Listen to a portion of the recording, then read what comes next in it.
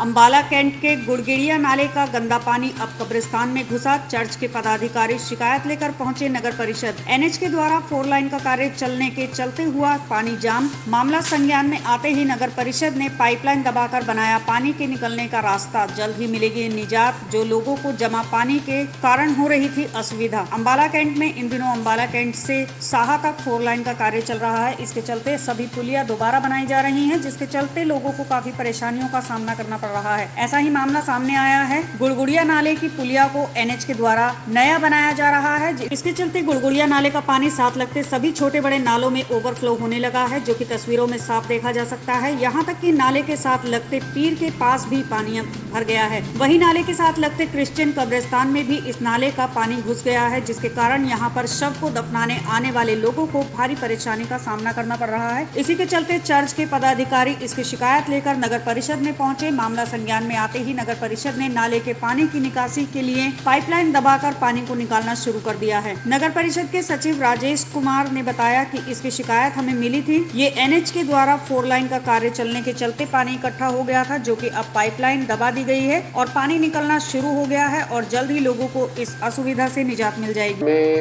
दो तीन दिन पहले जो भी थे, अपना चर्च के पदाधिकारी भी यहाँ आए थे। एप्लीकेशन उन द्वारा भी आई है और एक डिफेंस की तरफ़ से भी आई हुई थी।